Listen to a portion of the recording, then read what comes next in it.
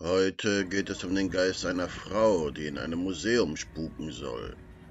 Folgt mir, wenn ihr euch traut.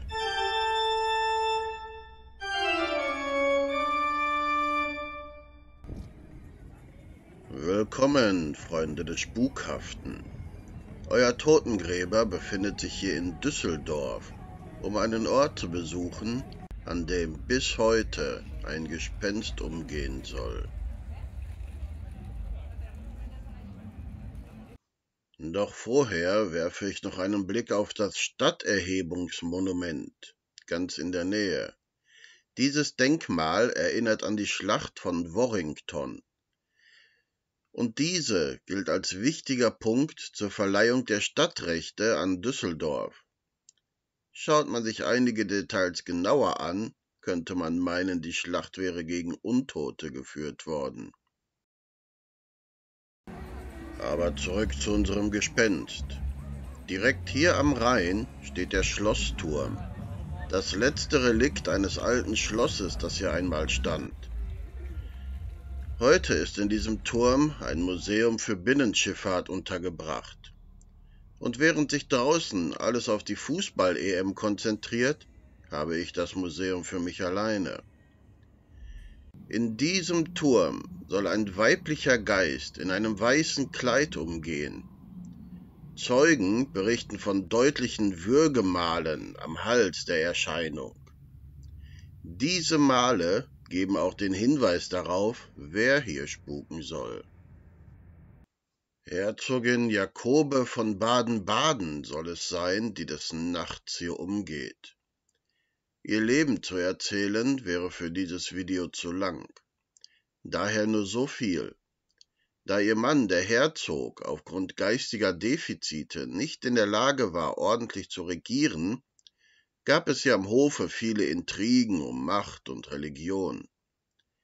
Diese gipfelten darin, dass Herzogin Jakobe unter mehreren Anklagen in diesen Turm in eine Art Hausarrest gesperrt wurde und man versuchte die Gerichtsbarkeiten dazu zu bringen, ihr den Prozess zu machen.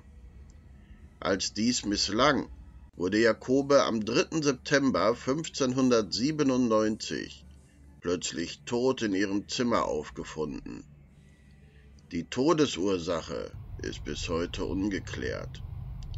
Laut Zeugen soll die Leiche jedoch Würgemale aufgezeigt haben. Einige Gerüchte behaupten auch, der Leichnam wäre nach dem Tod noch enthauptet worden. 1872 brannte das Schloss nieder und nur der Südflügel und der Turm blieben erhalten. 1896 wurde auch der Südflügel abgerissen.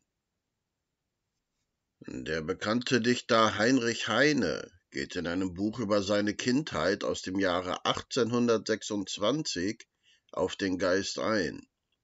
Dort steht, und wir saßen vor der marmornen Statue auf dem Schloßplatz. Auf der einen Seite liegt das alte, verwüstete Schloss, worin es spukt, und nachts eine schwarzseidene Dame ohne Kopf mit langer, rauschender Schleppe herumwandelt. Wer mir am Anfang des Videos genau zugehört hat, wird sich nun wundern. Schwarzseiden? Hieß es nicht ein weiblicher Geist in einem weißen Kleid? Stimmt. Die Hoftracht der Herzogin war in der Tat stets schwarz, und anfangs wurde auch die Kleidung des Geistes so beschrieben. Im Laufe der Zeit sahen die Zeugen aber eine weiße Gestalt. Wie kann das sein? Es ist möglich, dass eine Art Vorbeeinflussung der Zeugen vorliegt. Früher nannte man den Geist von Urahninnen, die erschienen, um die Nachkommen vor Unglück zu warnen, weiße Frau. Im Laufe der Zeit wurde der Begriff aber für fast alle weiblichen Geister verwendet. Auch die Gräfin wird oft als die weiße Frau von Düsseldorf bezeichnet. Wer nun erwartet, einen weißen Geist zu sehen, könnte alle möglichen hellen Erscheinungen wie Lichtreflexe fälschlicherweise für einen weißen Geist halten. Aber was ist mit den Zeugen, die das Gespenst so genau sahen, dass sie sogar Würgemale am Hals erkannten? Diese sollten doch auch in der Lage sein, zweifelsfrei die Farbe des Kleides zu erkennen. Vielleicht erscheint der Spuk aber auch einfach in verschiedenen Formen. Wie dem auch sei, mir ist jedenfalls in dem Turm kein Geist begegnet. Und das Gruseligste, das ich je erlebt habe, waren die Preise im Museumscafé. Jedoch kann man in Düsseldorf eine andere Art von Gespenstern sehen, wenn man die Augen offen hält. Der Straßenkünstler Pidot hat in den letzten Jahren Tausende dieser Pac-Man-Geister in Düsseldorf verteilt.